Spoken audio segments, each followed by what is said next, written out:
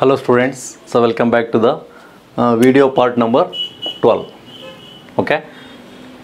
Okay, now in this uh, part of the video, I am going to tell you what is the maximum power transfer theorem. Right. So I think this is the third theorem for you in the DC circuit analysis. Right. Okay. So first you go through the statement. So very simple theorem it is. See, the maximum power transfer theorem states that maximum power is transferred from a source to a load.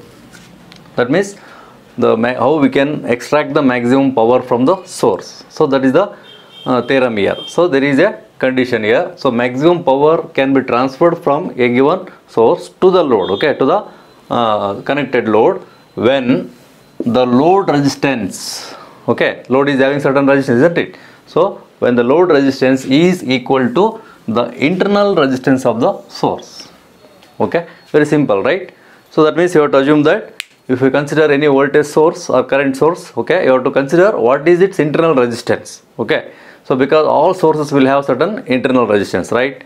Okay? In case of voltage source internal resistance is very small. In case of current source internal resistance is very high.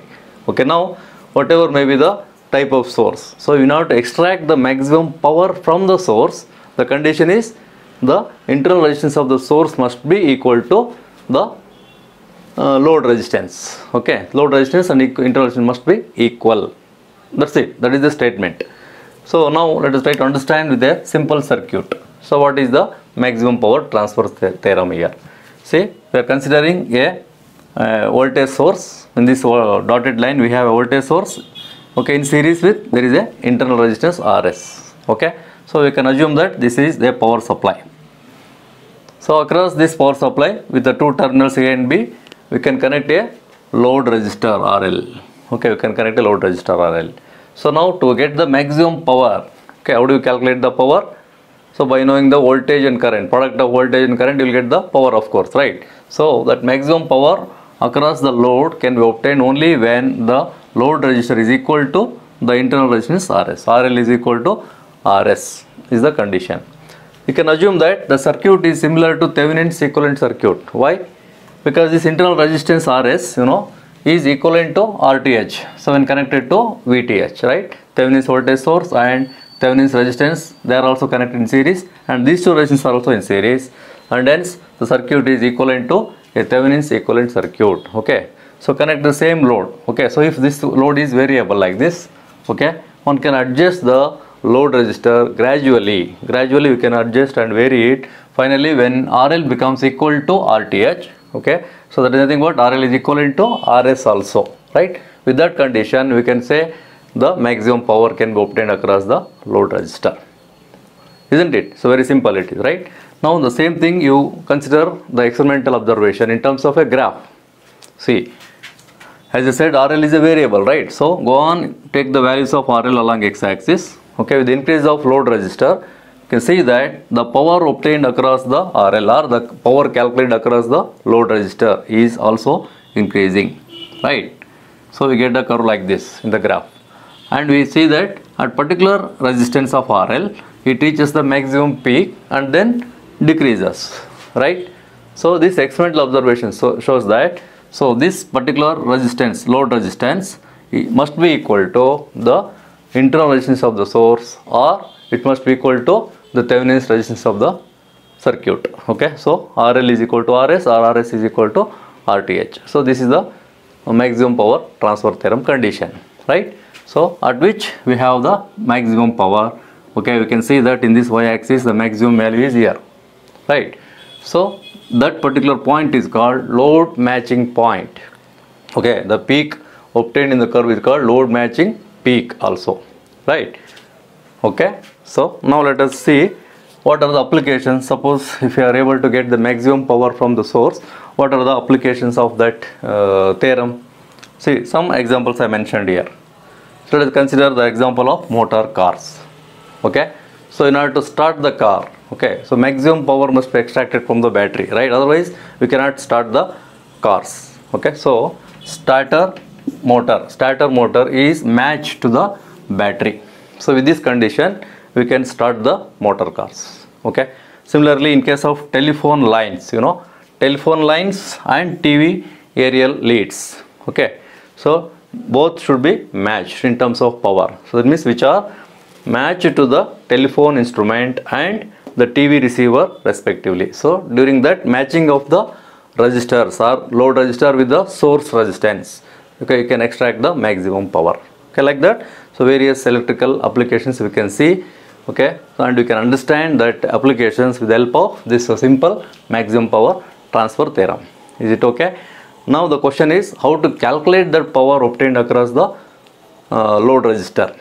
Okay, so in case of uh, Thevenin's uh, circuit or in case of Norton circuit, so there must be an equation to calculate the power obtained across the RL. Okay, now let us see that part. Okay, now look at the circuits to obtain the expression for power across the load. Okay, so now we have three circuits here, right? The first one is the simple circuit as you know there should be a voltage source and with corresponding internal resistance. A load resistor is connected here as RL. Okay, the current passing through the uh, RL is considered as the current I. Okay, now this circuit can be considered as equivalent to the two circuits. So what are these two circuits? The first one is the Thevenin's equivalent circuit, correct? Because the entire circuit consisting of now replaced by the internal resistance RS as equal to RTH in series with the VTH. Okay, so across the two terminals A and B as usual we have the load resistor. That's it. So this is the equivalent Thevenized circuit. Similarly, equivalent uh, Nortonized circuit is like this, consisting of what? A current source, constant current source in series in parallel with the Norton's resistance, right? And across the terminals A and B, so the load resistor is replaced as it is. Okay. Now for these three equivalent circuits, how to calculate the power delivered across the load in each case? Okay. So let us try to obtain the expression for that. So consider the first figure. From the figure A, the current I flowing through the load resistor is given by the relation according to Ohm's law, right? So I is equal to V divided by Rs plus RL. So because we have two resistors here, Rs and RL, so you can consider it as V by Rs plus RL. Okay, equation for the current. Then what is the power delivered to the load? So consider the basic uh, equation of power. So P is equal to product of voltage into current, right? So V into I. So we can just replace the voltages according to Ohm's law again. We have uh, RL into I. Whenever you consider the current through the load, okay. So corresponding voltage drop V across the load RL is given by product of that resistance RL into that current. So RL into I. So into I is there of course here. So multiply I into I square. So that you will get I through the load IL square into RL. You can write it as IL because through the load it is. So IL square into RL. Okay. Now what is the equation for this load current? So okay. So I will take it as IL. So substitute this equation of IL from equation 1. So that is V divided by RS plus RL whole square into RL. Okay. So this is the equation for power delivered across the load. So basic equation for the power delivered across the load. Okay. So let us go for the condition according to maximum power transfer theorem. So maximum power transfer theorem uh, says that if RL is equal to RS then only we can say the power delivered is maximum right. So substitute this RL is equal to source resistance RS. Okay. So this is just general equation first. So go for the maximum power delivered in the same circuit. So that RL is equal to RS according to the condition, right? So therefore P is equal to, so V divided by RS plus RL is there. So substitute this RL as RS and again RL is equal to RS here. Okay, so PL maximum. So the maximum power delivered across the load AB in the first circuit itself still. So V square divided by, okay, substitute this RS plus RS is equal to how much? 2RS whole square 4RS square. So that 1 RS cancels here. Left with V square divided by 4RS. Okay, this equation 3 will give you the maximum power delivered across the load in the first circuit. Clear? Now, similarly, what is the equation for maximum power delivered across the Thevenin circuit, right? So, go to the figure 2 now. So, that is from figure B. So, that is called the Thevenin's equivalent circuit, correct? Now, what you have to consider in this circuit? So, just RS is changed as RH, I mean RTH and V, the supply voltage V is considered as VTH. Substitute the conditions here. RS is equal to RTH V is equal to VTH. Okay. So by substituting these two, sim- simply you will get the equation directly. PL maximum is equal to div- square divided by 4 RTH. Right. V square is there here. It becomes VTH square divided by 4 RS here. So it becomes just 4 RTH. So equation 4 is the uh, maximum power delivered across the Thevenized equivalent circuit. Okay, now go to the next circuit that is Norton circuit. Okay, in which we have current source and equivalent Norton's resistance across the terminals A and B. Again, we have the same load RL. Okay, so how do you convert the Thevenin circuit to the Norton circuit? Because in the last video we have discussed that the Thevenized uh, circuit and Nortonized circuit both are equivalent to each other, right?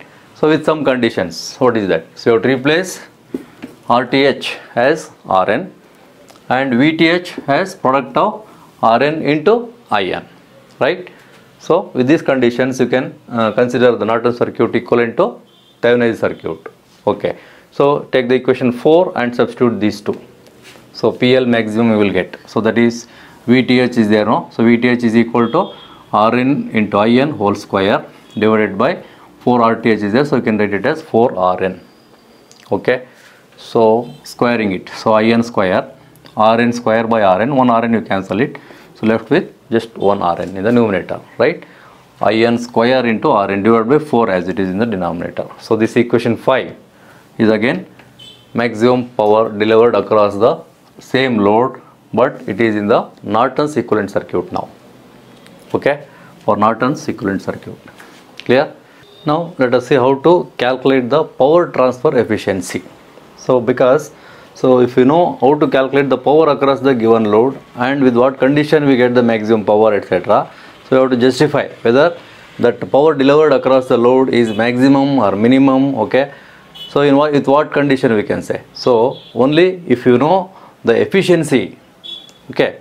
So then only we can justify whether that power delivered is maximum or minimum or sometimes zero also okay? So now to justify that uh, conditions in the given circuit so let us try to obtain the expression for power transfer efficiency okay? So because you know what is the power transfer efficiency definition? So it is denoted by eta okay? It is just ratio of power developed in the given load RL to the power supplied by the source. Okay? So because in this ratio we know already how to uh, write the power supplied by the voltage source itself. So in the circuit you can see that there are two resistors RS and RL in uh, series. So just to consider the power supplied by the source. Okay? Power supplied by the source consisting of two resistors here. So that is RS plus RL into the corresponding current I square. Okay so that gives the total power supplied by the voltage source. Okay. Now substitute that in the equation. So power developed in the RL is given by just RL into I. Okay. Only in the load resistor you have to take the product of that resistor RL into the corresponding current I through the load. Divided by the power supplied by the source from equation 1 that is RL plus RS into I square. Okay. So you can just cancel this I square because both the currents are passing through the load RL it is common. Okay cancel it. Now you take the ratio of RL divided by RL plus RS is the equation for the efficiency. Okay power transfer efficiency. Clear? Now from this equation 2 we can have the special cases. In which case we have the maximum power in which, which case we don't have the power at all across the given load. Okay? Now look at the special cases here so in the first case suppose if there is no load connected across the terminals a and b. Okay no load means rl is equal to 0 so how it is possible? So just by shorting the terminals a and b without the resistor okay directly a and b are shorted. That means rl is equal to 0 okay it is not open circuit. It is a short circuit. So then rl is equal to 0 corresponding eta is equal to 0 how? Look at the equation 2 again if rl is equal to 0 numerator itself is 0 right? So finally uh, numerator 0 so eta is also equal to 0 so efficiency is 0 so what you will understand by that? No power will be delivered or no power will be transferred to the load at all. Okay? Power transfer is 0 across the load. So now in the second condition if RL is equal to infinity. So what do you mean by that? Open circuit, right? So just remove the RL, keep the terminals A and B open across the source. The two terminals are open. So do you expect any power uh, delivered to the load? There is no load at all. First of all, isn't it? It is it is like a infinite resistance. In that case also, okay, by mathematically you can prove that the efficiency is again nearly equal to zero you will get a indeterminate value of course but if you substitute RL is equal to infinity and ER also infinity so some in indeterminate value. So that is not having any meaning. So you can assume that efficiency is again zero across the load. So no power is transferred to the load again in this case also. Clear?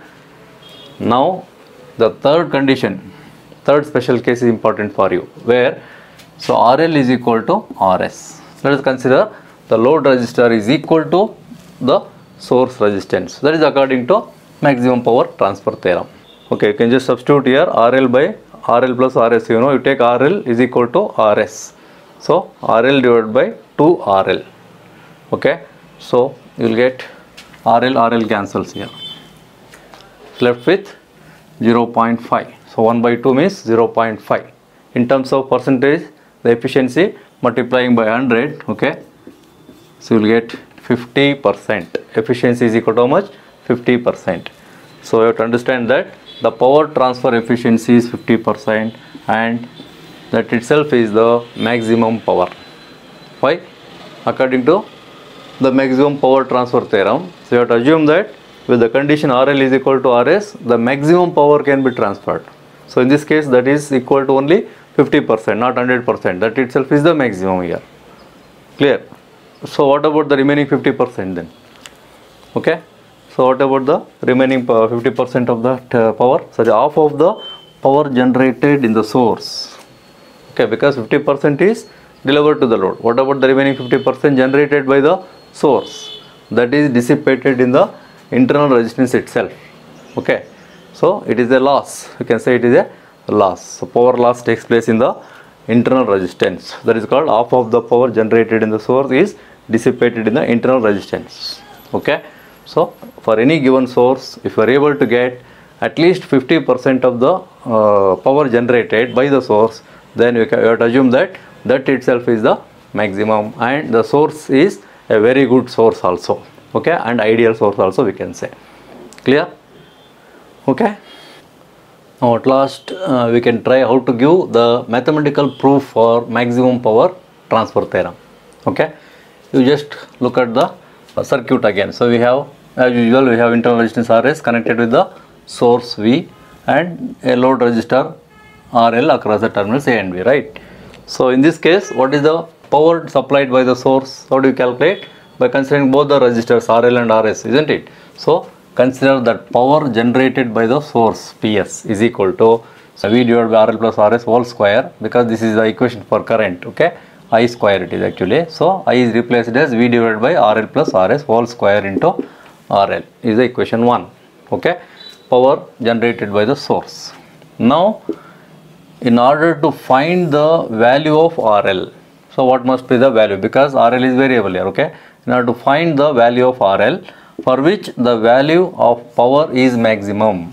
Okay. We need to prove that what should be the value of RL according to maximum power transfer theorem. So to find that value of RL to be uh, maximum power drawn across the load. So it is necessary to differentiate the equation 1 with respect to RL and it should be set the result equal to 0. Okay, that is the uh, mathematical condition here. So you have to differentiate the equation 1 with respect to RL and equate that differentiated equation to 0. Okay, so now let us follow that condition here. So take the equation 1 and differentiate with respect to RL. dP by dRL. Okay. So dP by dRL is equal to what? So d by dRL into P just substitute it from equation 1 as V by RL plus RS whole square into RL. Okay. So after differentiating that equation 1 should be equated to 0. So write it as equal to 0. Okay. So when you differentiate this equation with respect to RL as a variable so uh, you have to assume that RS is constant and the supply voltage source V is also constant. Okay. So I think uh, you can do it by taking V square as constant outside and differentiate the remaining term. V square is taken out so that you will get 1 by I mean uh, uh, 1 by RL plus RS whole square into RL or you can say RL divided by RL plus RS whole square in the denominator. Okay. So you try the differentiate uh, the term you will get RL plus RS whole square minus 2RL into RL plus RS divided by as usual RL plus RS whole square in the denominator. Okay. So this term entire differentiated term is, should be equal to 0 now you look at the equation. So once it is equated to 0 okay so this term this particular term in the numerator should be equal to 0 otherwise the whole equation cannot be equal to 0 here. So you take that numerator part that is uh, only this part that is RL plus RS whole square minus 2RL into RL plus RS okay is equal to 0 okay. Further you can take the RL plus RS term as common term here okay so RL plus RS, RS is common. So left with RL plus RS minus 2RL okay? Is equal to 0 again. So here RL plus RS here is RL plus RL one term is taken common. Now in this equation we have two terms multiplication terms right? So RL plus RS cannot be equal to 0 because so even whatever may be the RL so internal resistance will be there in the circuit. So therefore that addition RL plus RS cannot be equal to 0 here okay. Then if the product is 0 one of the product is not equal to 0 other product should be 0 okay other term in the product should be 0 so you take the second term that is RL plus RS minus 2RL must be equal to 0 okay? So now simplify this equation. See minus 2RL isn't it? Plus RL you left with only minus RL so RS minus RL here. Okay? Is equal to 0 so therefore so what you can say finally the load resistor RL okay you take this uh, minus RL other side so that you will get RL is equal to RS here. Correct? RL is equal to RS means that is load resistance is equal to internal source resistance. Okay mathematically if we follow the condition of differentiating the above equation and equate it to 0 to know the maximum power maximum power drawn across the load so finally we concluded that here in the mathematically RL is equal to RS only. Okay. So that is the proof of maximum power transfer theorem. Is it okay? So in the next part of the video I will take up the next theorem that is superposition theorem. Okay. See you in the next video